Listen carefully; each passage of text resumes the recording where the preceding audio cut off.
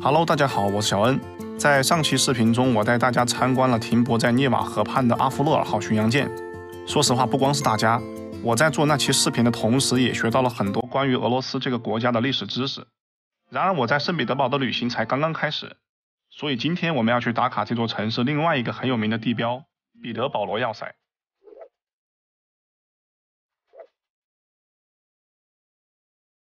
圣彼得堡的冬季白天很短。每天上午十点过天亮，下午还不到四点天就黑了，所以对于拍视频的我们来讲，真的非常苦恼。每去一个地方都得抓紧时间玩，抓紧时间拍摄。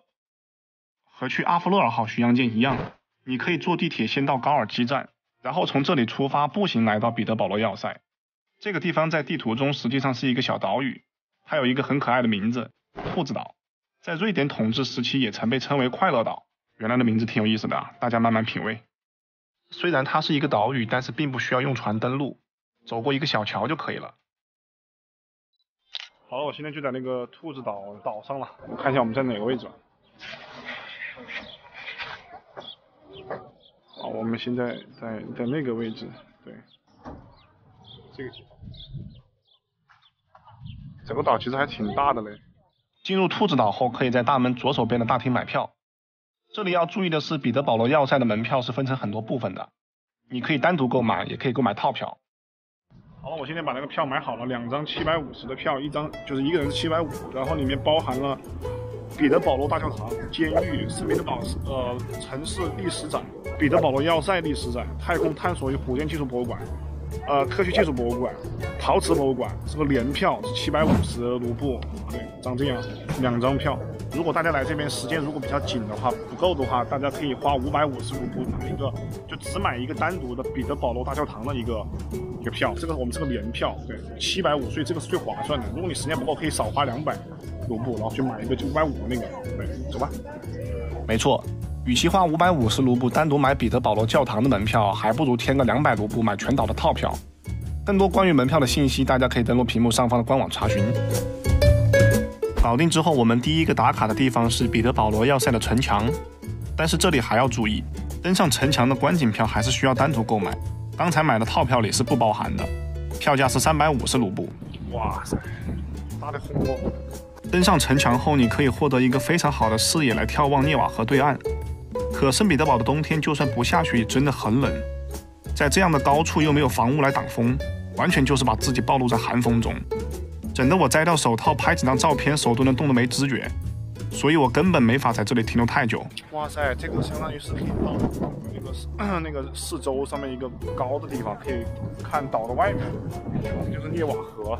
对，其实挺漂亮，就是太冷哇，那个冷风一吹过来我就无法呼吸，我就太冷。哎呀，哎呀，我上面包包子，包子是包子，下冰雹了，擦到脸了。不是雪，是包子。呃，这包下包子，下包子了，下冰雹了。哦，好痛！绝对疼！包子，下包子了，快跑！快跑！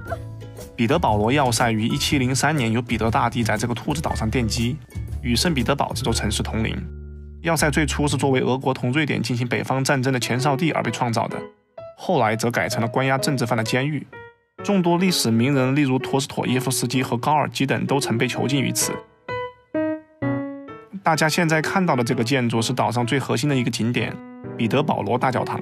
也就是前面说到的单独买票要五百五十卢布的那个教堂，它和整个要塞一样，都诞生于一七零三年，是圣彼得堡最古老的教堂。它外表庄严肃穆，内部装饰富丽堂皇，主要以鲜亮的金色为基调。其实这样的教堂在俄罗斯甚至整个欧洲比比皆是。而为什么这里会吸引那么多的游客前来呢？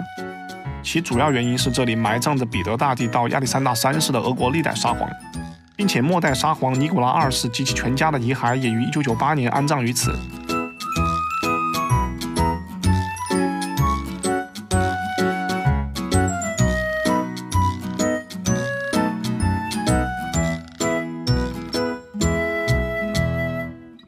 从彼得保罗教堂出来后，我们去了要塞中著名的涅瓦门。从这个门出去就是壮丽的涅瓦河。因为当时关押在要塞的死囚都是从这个码头登船，然后被送往刑场，所以涅瓦门也被称作死亡之门。可能是当天的天气不太好，很灰暗，并且又是刮风又是下雨的，再结合门内的整座要塞，它让我联想到了一部好莱坞的经典悬疑电影《禁闭岛》的内容。